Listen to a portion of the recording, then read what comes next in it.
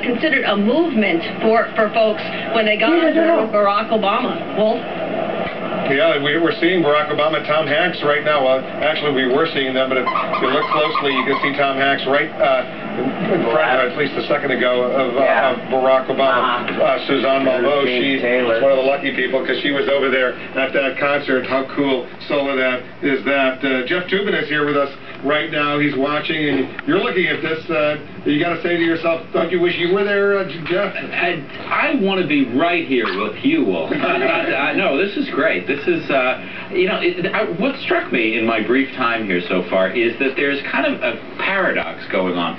There's this euphoria about Barack Obama's inauguration, no question about